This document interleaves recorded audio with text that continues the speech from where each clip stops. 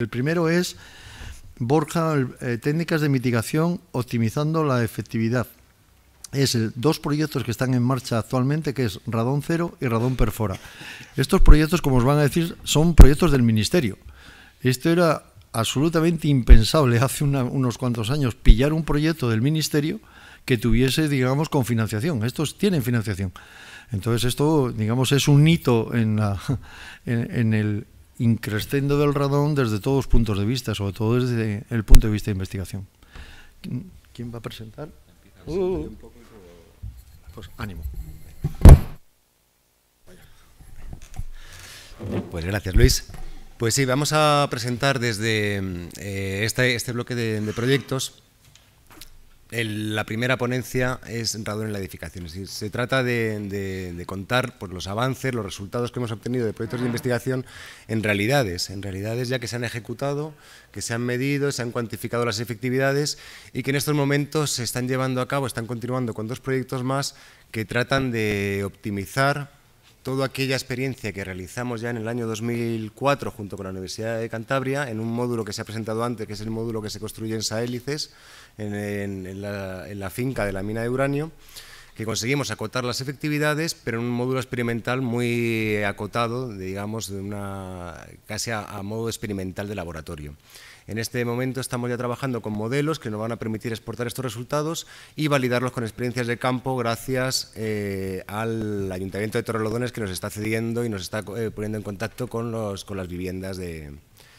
afectadas por altas concentraciones de radón. Bueno, en esta charla voy a dar una pequeña introducción sobre lo que son las técnicas de mitigación, la experiencia que tuvimos en aquel proyecto Contaré por encima los dos proyectos que se están llevando a cabo y luego voy a dar paso a Eduardo Muñoz, que está trabajando en uno de ellos y que nos va a poder contar pues, cuáles son las bases y los criterios del modelo que se está elaborando en este proyecto para poder extrapolar los resultados y poder actuar en otro tipo de edificaciones.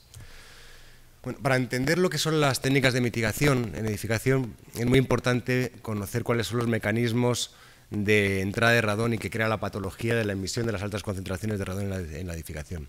Ya se ha comentado, Luis ya ha esbozado cuáles son los caminos, los, los mecanismos de, de, entrada, el por qué el radón generado es un gas y en ese momento cuando se convierte en ese, en ese estado del sólido, del uranio, del radio, comienza a moverse por los poros del terreno gracias a dos mecanismos, gracias al mecanismo difusivo, a través de los poros del terreno por diferencias de concentración entre los diferentes sustratos del terreno y la atmósfera, y gracias también al mecanismo eh, advectivo, que es por diferencias de presión.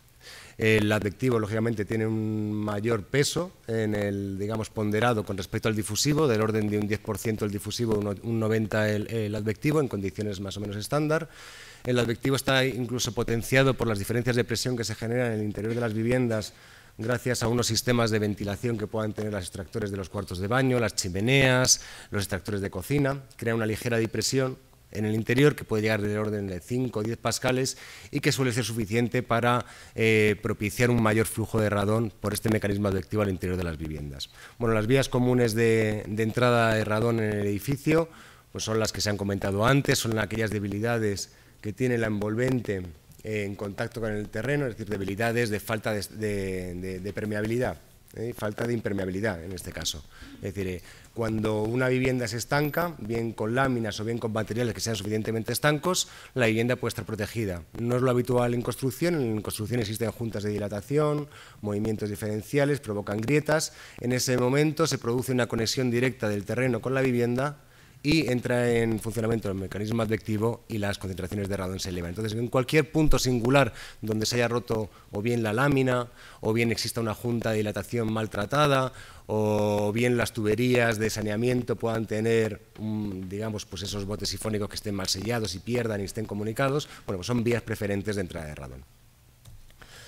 Bien, las acumulaciones que se producen en el interior, efectos de acumulación, que tiene que ver también con la desintegración y que tiene que ver también con las tasas de ventilación de intercambio de aire que tiene la vivienda con el exterior. Entonces, en función de todos estos parámetros y con la tasa de entrada desde el interior del edificio, pues se producen unas concentraciones que es elevado ya el riesgo que marcan las diferentes instituciones, bueno, pues ya hay que empezar a tomar medidas. En cuanto al mapa de riesgo de, ya se ha visto antes, existen varios procedimientos para, establecer los mapas de riesgo. Este proviene de una estimación de radón, potencial de radón que podría existir en viviendas situadas en, las zonas que están en el mapa nacional y proviene de la radiación gamma asociada. Es decir, se han hecho mediciones de radiación gamma mediante modelos eh, se simula lo que pudiese entrar en una, vivienda y se establece unas áreas de riesgo eh, conforme a esta, distribución de, zonas de cero, con un riesgo de menos de 150 becquerelios, hasta dos con mayores de 300 becquerelios. Estos son mapas que ha elaborado el Consejo de Seguridad Nuclear con el apoyo de la Universidad de Cantabria y diferentes recomendaciones y niveles un poco para que tengamos el umbral de riesgo un poco presente que varía, depende de quién lo emita y depende también de lo que se vaya a adoptar en el futuro Código Técnico de Edificación o las diferentes normativas que puedan estar relacionadas con este ámbito. Bien, en cuanto a los mecanismos y estrategias de remedio, se pueden clasificar en tres, básicamente en tres. Estudiando la literatura, uno se da cuenta claramente que existen tres vías para atajar este problema. La primera vía, quizá la más efectiva, es drenar el terreno de radón, es decir, actuar en la fuente que está generando esa problemática, esa fuente que es el propio terreno por el contenido de radio. Si nosotros conseguimos extraer o drenar ese, radón del terreno, estamos liberando esa, fuente o atenuándola y, lógicamente, las diferencias de concentración en el interior de los poros del terreno con respecto al interior de la vivienda va a disminuir y el mecanismo advectivo va a reducirse también, igual mismo también el, difusivo. Eh, este, esta técnica tiene diferentes variedades en cuanto a los puntos de captación que ahora comentaremos y posibilidades de extracción forzada o no en función de esos contenidos de radón que podamos detectar en las viviendas.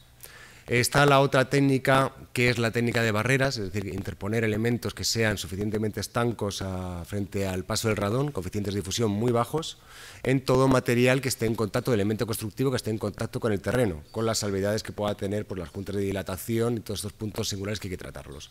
Y por último estarían los mecanismos que tratan de reducir la concentración de radón por dilución, es decir, mezcla de aire del exterior del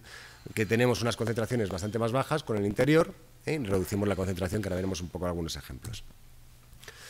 Bueno, en cuanto al sistema de extracción-presurización, se basa en, digamos, un elemento de captación que está en, el terreno, bien bajo la solera o bien aprovechando el forjado sanitario o bien mediante tuberías DREN, es decir, un elemento poroso que es capaz de captar el gas que se encuentra en los poros del terreno, una tubería de conducción hacia el exterior, bien sea por fachadas o bien sea cubierta, y un elemento que puede potenciar esa succión, que puede ser un extractor colocado en el, punto, bueno, en cualquier punto del recorrido, es decir, que fuerce la depresurización que necesitamos en el terreno. Eh, todos estos eh, digamos, elementos se colocarán o no en función del estudio que se haga previamente, es decir, la superficie que necesitemos cubrir de, área de asiento, el número de puntos que necesitamos situar en función de la permeabilidad del terreno que pueda abarcar ese campo de presiones que vamos a situar debajo de la vivienda, eh, el contenido de radón en el terreno, pues todas estas variables metidas en un modelo o en unos estudios previos nos pueden dar los óptimos de diseño de una solución correctora en cuanto a temas de despresurización. En cuanto a los puntos de captación, existen varias posibilidades. Hay ya casas comerciales en España, yo todavía no he encontrado ninguna, pero sí que fuera en el extranjero existen casas comerciales que te desarrollan estos elementos que les llaman SUM. Son elementos porosos o elementos con una serie de perforaciones por donde entra el radón, una como unas arquetas perforadas que se sitúan en el terreno y se conectan a unos tubos de drenaje. Se pueden realizar in situ, como realizamos nosotros en el proyecto de investigación, con ladrillos colocados de forma inversa para que las perforaciones estén comunicadas con el terreno y con el espacio de la arqueta, o elementos un poco más sofisticados que combinan ranuras, por ejemplo, en, materiales de aislamiento térmico que canalizan y conducen el radón hacia unos extractores por, fachada. Este mismo sistema de presurización, que es muy efectivo, utiliza el mismo, digamos, los mismos elementos, pero lo que hace es invertir el flujo invierte el flujo para crear un bulbo de presiones que, eh, digamos, tapone, tapone de alguna manera el elemento de terreno que está en contacto con el edificio para que el radón que se encuentra en esa zona, pues bien busque otros caminos hacia la atmósfera y el área que está debajo de la vivienda, el área de asiento, quede reducida en concentraciones de radón. digamos, es un bloqueo mediante un bulbo de presiones. Estos sistemas también, bien optimizados y con un buen estudio detrás, pueden dar lugar a actuaciones de gran tamaño, grandes superficies, metiendo eh, a lo mejor tubos de drenaje o capas drenantes de terreno que sean capaces de movilizar grandes flujos de, gas en el terreno, con un único punto de extracción bien dimensionado para el área que tiene que abarcar. da muchas posibilidades este esta técnica y es una de las más efectivas. Los sistemas de barreras también han sido muy, muy habituales, sobre todo en Reino Unido se han colocado muchísimas, existen casas comerciales que las, que las, que las comercializan, que las venden. Se suelen colocar bajo la solera cuando la vivienda está construida, o si ya está construida, pues lógicamente no puedes levantar la solera, tendrás que colocarla encima y luego hacer algún tipo de suelo pisable compatible con esa lámina. Estas láminas, eh, su principal eh, característica es que tienen que ser estancas, son láminas que tienen que, ser, eh, tienen que tener un coeficiente de difusión muy bajo. Esto ya nos van a comentar luego la experiencia que tiene Cantabria, Carlos Sainz, en la caracterización de estas láminas que es un tema bastante complicado y, bueno, han llegado a, diseñar un procedimiento que lo, que lo puede caracterizar. Pero aparte de tener este coeficiente de difusión muy bajo, las láminas tienen que tener unas capacidades mecánicas altas, es decir, tienen que, son elementos constructivos que están colocados sobre algún tipo de soporte constructivo también, un elemento estructural normalmente. Estos elementos estructurales tienen sus juntas de dilatación, tienen sus encuentros, tienen sus apoyos,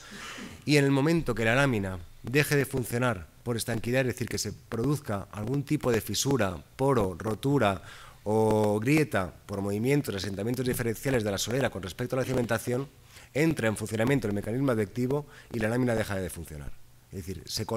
convierte en una especie de sumidero de radón. Todo el radón que tenía taponado bajo el terreno encuentra un poro y por ahí, digamos, tenemos una chimenea de extensión a la vivienda. Hay que tener mucho cuidado con la puesta en obra de las láminas y con la ejecución. La ejecución tiene diferentes variantes. Están las que están fabricadas por la industria, materiales en rollo normalmente, multicapa, que le confieren las diferentes propiedades mecánicas y, de coeficientes de difusión, y existen otras que son aplicadas in situ, que hemos, eh, nosotros, digamos, fuimos uno de los pioneros en el proyecto de investigación que hicimos ahí en Saélices y que dio muy buen resultado. Era una lámina que no tenía esos altos, esos bajos coeficientes de difusión como otras que había en el mercado, pero por el propio sistema de aplicación eh, proyectado in situ, pues salvaba muy bien los solapes, eh, los puntos de encuentros, y entonces de esa manera pues salvábamos otras situaciones que otras láminas era más complicado llegar a ellas. Bueno, en cuanto a la ventilación, que sería el tercer mecanismo básico de, reducción, o que uno puede pensar en reducir la concentración, es decir, tenemos una concentración alta de radón en el edificio que puede estar por encima de los 300 y fuera no más de 120 becquerelios, si mezclamos el aire, lógicamente vamos a reducir la concentración. Esta mezcla de aire ya está documentada a lo largo de la historia, se ha hablado antes de las medidas de eficiencia energética que están haciendo las casas cada vez más estancas, con menos ventilación, por lo menos el cambio de ventanas, no ya las medidas de ventilación natural que están eh, contempladas por otro tipo de contaminantes, pero en el caso de, la mayor hermeticidad de las viviendas, cuando se han cambiado los, huecos, los, los, cerramientos de los huecos, pues se ve que los incrementos de radón en esta gráfica de la derecha a lo largo de los años han ido aumentando las tasas de, radón a medida que las infiltraciones de las viviendas se han ido reduciendo por estas mejoras en la eficiencia energética. este, este, mecanismo también funciona de otra manera, es decir, si nosotros al intercambiar aire con el exterior lo hacemos de forma forzada si lo hacemos de forma natural, abriendo ventanas, lógicamente, pues lo que decía antes Luis Quindor, necesitaremos unas tasas de ventilación altas o mantener las ventanas de una forma continua. El radón se vuelve a acumular en, pocas horas al cerrar las ventanas. En áreas donde las temperaturas sean bajas o altas, este mecanismo pues, va a tener digamos, su repercusión en la eficiencia energética, en la climatización del edificio. Hay que tener cuidado con estos asuntos. Pero el hecho de introducir extracciones forzadas o presurizaciones de los edificios también puede alterar el estado de presiones que tiene el espacio interior del edificio con respecto al terreno y puede mejorar, la, puede mejorar de alguna manera, eh, taponar ese flujo de radón por advección, pero también lo puede, lo puede propiciar, que esos son unos estudios que se hicieron en Villar de la Yegua, de una tesis de un compañero de Cantabria también, en el que una, una medida mal entendida de extracción de radón en terreno se aplicó en el edificio, creó una depresurización en el edificio y eh, propició mayor flujo de entrada de radón en el terreno. Bueno, estos temas de medidas de ventilación tienen su repercusión, como he dicho, en la eficiencia energética. En esto es un caso que hicimos de estudio en el que contemplábamos una vivienda tipo eh, de un volumen determinado con unas concentraciones iniciales de 900 becquerelios y con una hermeticidad de una renovación hora, es decir, la, la tasa de estanquidad de la vivienda. En el que mediante técnicas de ventilación queríamos reducirla a unos estándares de 200 becquerelios. Bueno, pues esta curva asintótica nos va guiando a través de las diferentes renovaciones hora hasta llegar a los 200 becquerelios que prácticamente necesitaríamos unas 5 renovaciones hora. 5 renovaciones hora con ventanas sería mantener las ventanas completamente abiertas durante todo el día, que me imagino que en Torrelodones pues no sea algo muy, muy adecuado. Eh, esto tiene su repercusión en la eficiencia energética. Lógicamente, este aire que introducimos tenemos que pretratarlo. Si lo tratamos directamente con sistemas de climatización y no introducimos intercambiadores de calor, tenemos que calentar o enfriar ese aire para llegar a las condiciones de confort y esto supone un gasto energético muy alto que en este estudio calculábamos del orden de 36.000 kilovatios hora año extra para poder pretratar este, pasando de una renovación hora a 5 para conseguir este objetivo de 200. Bueno, estos son temas que hay que tener un poco eh, claros a la hora de proponer este tipo de medidas y que las empresas de ventilación ya están introduciendo otros sistemas que son intercambiadores de calor y que, y que están funcionando bastante bien para reducir estas repercusiones energéticas. Bueno, el instituto en el ámbito del radón eh, se embarcó ayer en el año 2000 a través del, Consejo de Seguridad Nuclear, nos instó a, bueno, pues a trabajar en este tema para, para, poder incorporar algún capítulo en el código técnico que se estaba trabajando en esos momentos, que se tenía la, intención de, sacar. Y eh, estuvimos trabajando un equipo junto con la Universidad de Cantabria para dar, digamos, un primer borrador o unos esbozos de lo que podría llegar a ser una normativa de protección frente a radón en el ámbito de la construcción. Este, este borrador eh, ha, ido evolucionando eh, hasta el día de hoy, en el que ya pues el Ministerio pues está teniendo ya un poco las claves donde se puede ir introduciendo los mecanismos de normativos, las exigencias, las garantías y desde el Instituto lo que estamos haciendo, un grupo que se dedica a, colaborar en el área del código técnico, está dando las pautas que pueden reflejarse o los criterios que pueden reflejarse en ese documento que pueda estar incluido en el código técnico. Nosotros, del Departamento de Investigación, estamos dando eh, digamos, eh, resultados de, soluciones constructivas que se puedan ir incorporando o que puedan ir garantizando las, las soluciones de remedio y a través de diferentes tipos de proyectos de investigación. También hacemos asistencia técnica en cuanto a soluciones que nos pueden solicitar diferentes particulares que tienen, eh, digamos, patologías o problemática de radón. Eh, en este momento estamos trabajando en dos proyectos de investigación. En los dos colaboramos con la Universidad de Cantabria. Uno se llama Radón Cero y tratamos de optimizar toda aquella experiencia que teníamos en su momento mediante modelos numéricos eh, trabajados con software de elementos finitos en el que nos permite jugar con muchas variables y llegar a concretar una medida constructiva en un caso concreto contando con todos los parámetros del terreno, de ventilaciones, de, condiciones constructivas del edificio, en fin. Luego nos lo comentará Eduardo cómo van avanzando todos estos modelos que nos están permitiendo ajustar muy bien lo que puede ser el número de, eh, número de puntos de captación, potencias de extracción, eh, qué ocurre cuando una lámina se rompe, las juntas de dilatación, todo este tipo de, singularidades que más o menos eran obvias y las teníamos eh, conocidas y se, y se, habían ya experimentado, pero las estamos llegando a acotar con números, que es un dato muy interesante. Otro de los proyectos es un proyecto que propone una solución constructiva. Es un proyecto dentro de la convocatoria de retos de investigación con una empresa que la está liderando, que de momento no podemos todavía contar eh, resultados, está en, fase de, está en fase de preparación de los primeros eh, experimentos, pero se trata de desarrollar una tecnología de, drenaje en el terreno con, con una alta efectividad de despresurización para grandes edificios. Bueno, en posteriores jornadas supongo que ya podremos tener algún resultado que podremos ir comentando. Y por último, eh, se están realizando estudios del hormigón o materiales de construcción con respecto a las capacidades de difusión que tienen de hormigón. Esto Pilar Linares nos comentará más adelante lo que está desarrollando en este campo. Bueno, en cuanto a las efectividades que hemos detectado en el proyecto de investigación que ya hicimos en su día, contar un poco por encima el proyecto, fue este modulito que se construyó en una mina de uranio que tenía unas altas concentraciones de radón, llegábamos a tener unas concentraciones de 40.000 en sótano, eran muy, muy altas de media. Instalamos un laboratorio de medidas de, esos tipos de parámetros, de radón, presiones, temperatura. la Universidad de Cantabria instaló todos estos elementos y nos fueron dando una serie de datos muy interesantes en, la evolución temporal del, radón. Estas primeras gráficas fue un periodo de cuatro meses en el que se ve la evolución de radón en la primera gráfica de arriba, en las dos partes, en la de sótano y la de planta, planta primera, y se ven las concentraciones tan elevadas que tenían de media, 40.000 en sótano y 6.000, 7.000 en planta primera, teniendo en cuenta que 300 es lo que está marcando la nueva directiva, pues son son concentraciones muy altas que nos permitían trabajar con medidas correctoras y, acotar muy bien las efectividades. Las correlaciones son complicadas, no las voy a poder explicar ahora, pero sí que existen correlaciones muy claras, identificables en cuanto a las variaciones en los diferentes eh, parámetros atmosféricos, como presión atmosférica, que hace un efecto especular, en cuanto baja la presión atmosférica, deja de taponarse el terreno y, empieza, y sube con mayor, con mayor potencia. Las oscilaciones térmicas día y noche también producen variaciones de presiones que dan lugar a, diversas fluctuaciones en el, flujo. Y una curiosidad muy, el, tema de la lluvia, la saturación de los poros. Cuando un terreno está saturado, la capa es más impermeable, el radón no puede ascender por esa capa impermeable y en cambio el terreno seco que está bajo la vivienda se convierte en una especie de, elemento fácil para, ser alcanzado por el radón con unos coeficientes de difusión eh, mayores que los que puede tener el terreno húmedo por saturación de poros y, eh, el radón se asocia con los periodos de lluvia a una mayor entrada de radón en viviendas. Bueno, esto es una temática muy compleja y muy interesante, pero que no va a dar tiempo a comentarla. Comentar únicamente las,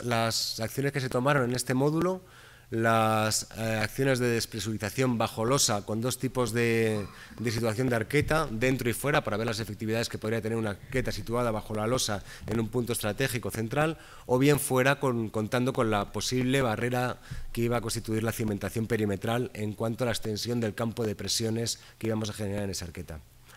Hicimos también lo mismo, pero colocando extractores mecánicos de diferentes potencias, tanto en la arqueta central como la exterior. Colocamos el sistema invertido eh, para provocar una presurización. Hicimos también una ventilación de forjados sanitarios simulando el sótano como si fueran forjados sanitarios, sellándolo con la planta primera y provocando aberturas cruzadas. Y por último introdujimos una lámina correctora, una lámina impermeable frente a radón. Bueno, las bueno estas son curiosidades de, la ejecución. La primera medida eh, dio unos resultados asombrosos en la arqueta. se redujo una, barbaridad de los 40.000 a los 38.000 en estos puntos determinados y luego por medias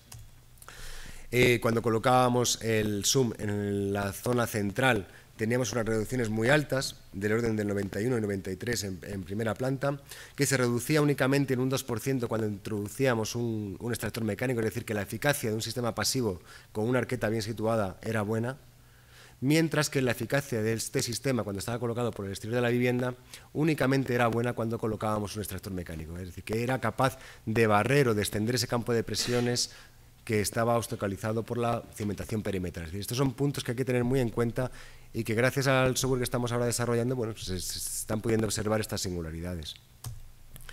Bien, correlaciones con el viento en estas medidas pasivas, cuando el viento era alto funcionaba como un sector mecánico y reducía las concentraciones ya por debajo de los límites, es decir, son curiosidades y al final detallamos un abanico de, de efectividad de todas estas medidas, colocadas por, pues, por identificadas por, digamos, por conceptos de extracciones, presurizaciones, forzadas naturales y barrera antirradón. Todo esto está documentado en diferentes documentos, en uno de ellos en el Consejo de Seguridad Nuclear, una guía que se llama eh, Protección frente a la emisión de radón. en cuanto a la selección de estrategia, lógicamente primero es, trabajar con la eficacia requerida en función de lo que hemos tenido detectado en la vivienda las tipologías edificatorias que nos van a dar, eh, digamos, dentro de toda esta variabilidad de, posibilidades, pues elegir aquella que sea más adecuada y más fácil de instalar, el dimensionado de la solución que nos van a que, vamos a tener que, hacer en función de las características del terreno, la permeabilidad, la difusión, el contenido de radio, diferentes parámetros que se estudian, se introducen en los diferentes eh, software de cálculo y nos pueden dar ya una ayuda y un óptimo de la, de la digamos de la aplicación de la solución constructiva. Yo creo que ya yo eh, paro aquí, voy a dar ya paso a, Eduardo, que va a comentar por los avances de uno de los dos proyectos, que es el Radon Cero, en el cuánto se puede, vamos, digamos, el, uso del, software en este sentido. No sé si, ¿cómo vamos de tiempo? ¿verdad? Mal. Mal.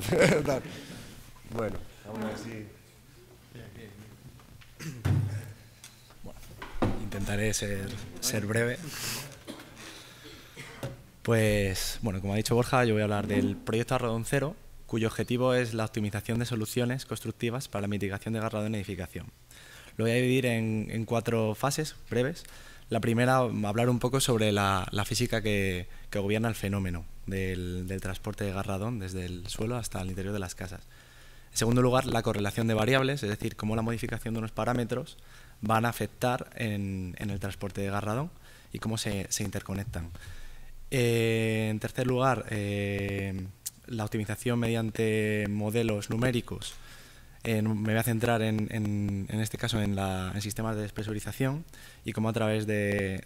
esos modelos numéricos podemos entender mejor la física que, hay detrás bajo el terreno o bajo, bajo la, vivienda. Y por último, una hipótesis muy sencilla de lo que podría ser una, una optimización de, de, una, de una remediación.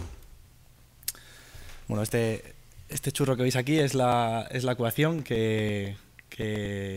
la ecuación de transporte de Garradón a través de un medio poroso.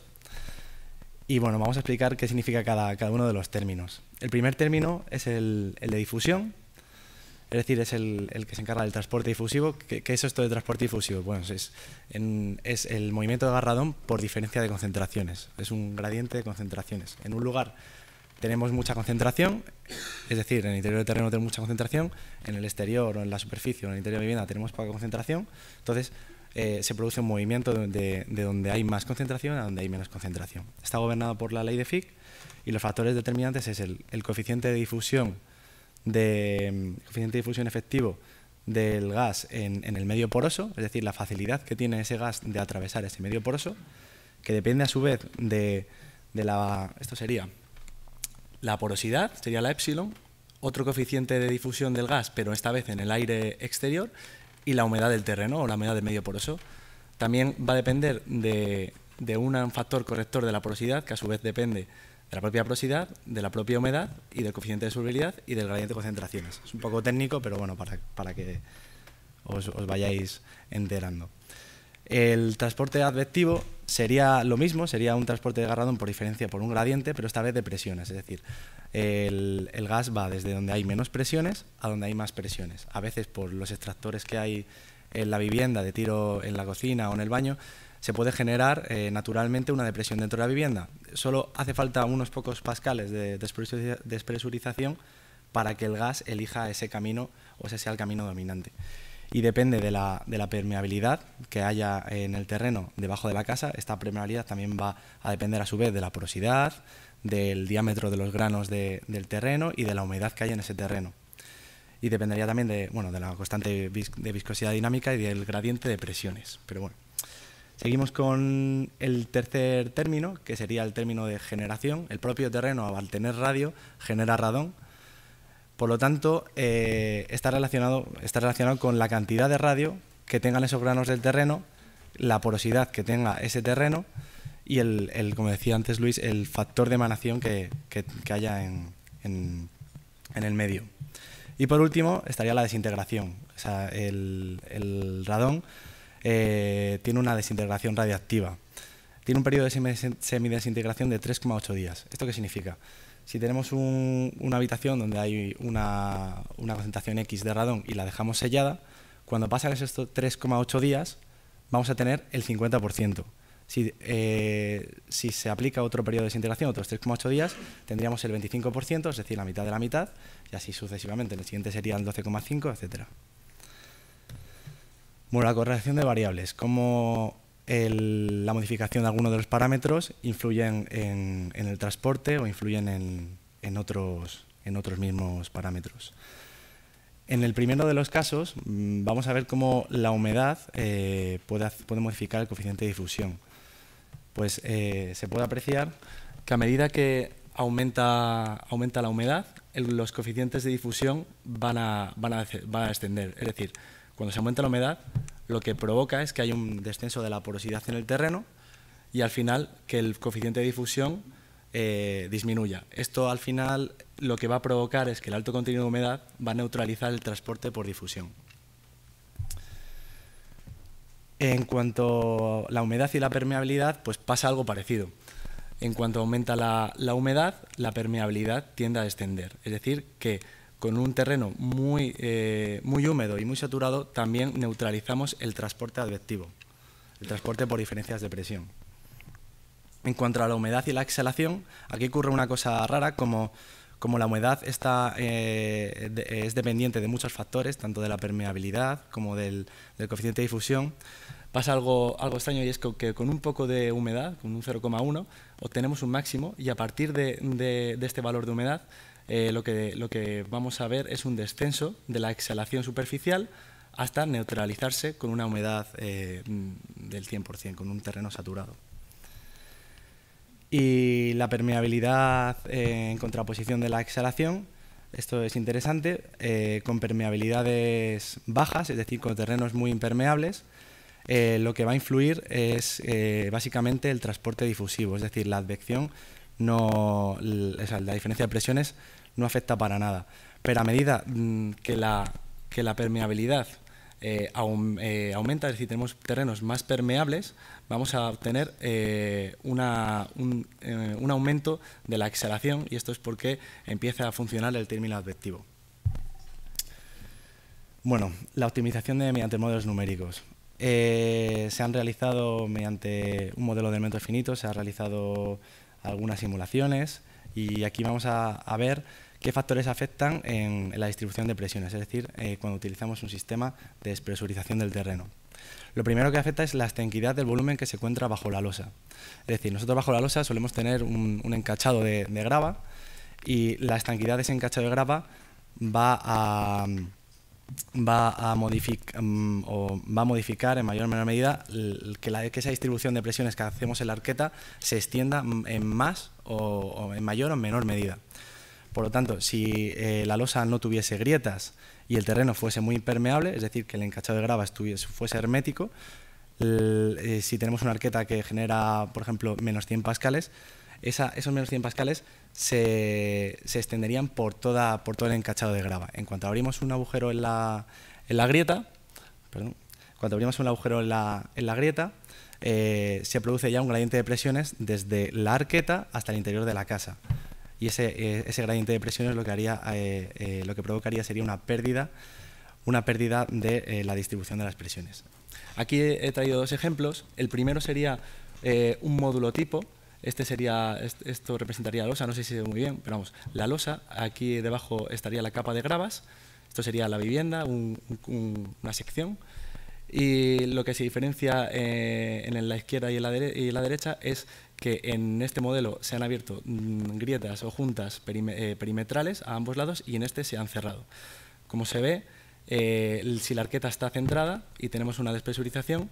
vemos que si abrimos grietas tenemos cortes de, eh, vamos, de las isolíneas de presión, vemos cómo va decreciendo las isolíneas a medida que nos acercamos a la grieta. En cambio, si cerramos todas las grietas y tenemos un terreno muy impermeable, vemos que no hay ningún corte de ninguna línea de ninguna isobara, es decir, que hay una, eh, uniformidad de la, distribución de presiones.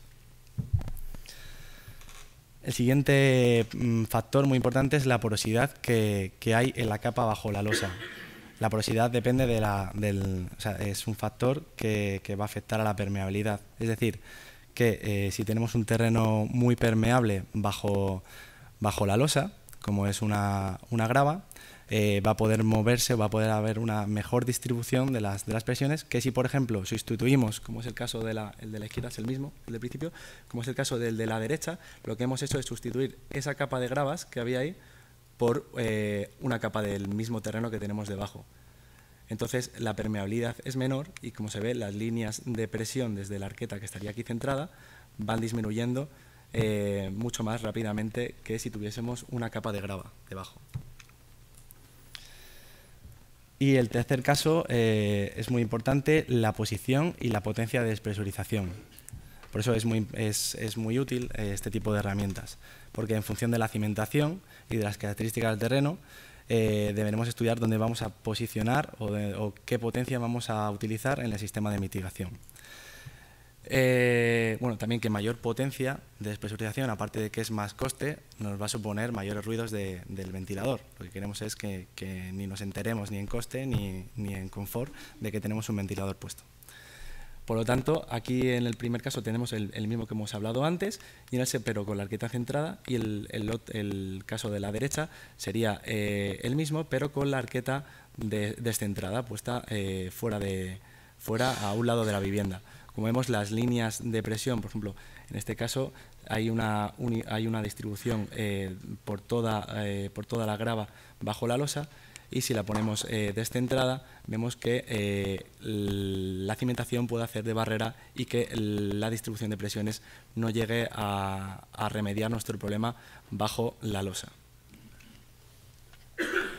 Y por último, una hipótesis sencilla, una hipótesis idealizada de, una atomización. Esto sería eh, idealizada la planta de una vivienda, o sea, sería la, capa, la capa de gravas, que sería esta. Esto se podría eh, deberse a una cimentación central que tenga la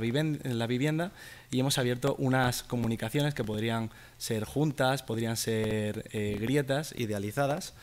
eh, mm, en varios puntos de, la, losa.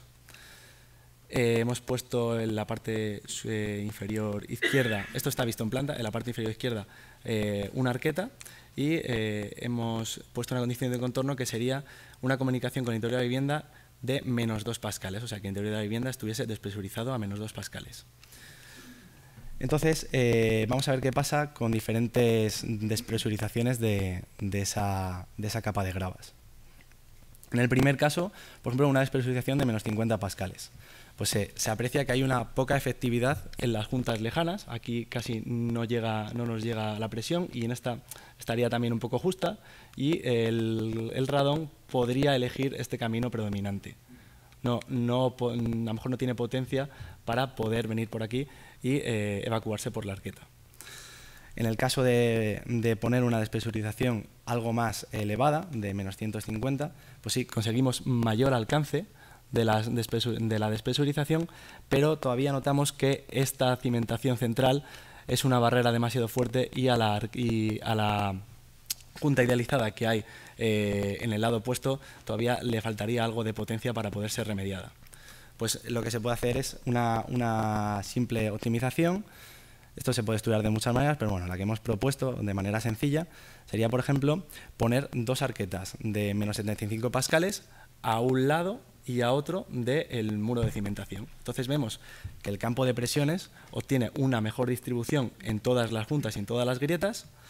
eh, y, eso, y, al final que todas las juntas se ven afectadas por el, por el campo de despresurización. Entonces, la conclusión de esto, y con esto ya acabo, es que a través, del, a través del uso de herramientas basadas en el cálculo mediante elementos finitos, podemos optimizar la solución de cada vivienda teniendo en cuenta eh, como factores o condiciones de contorno que se, meten, se introducen en el modelo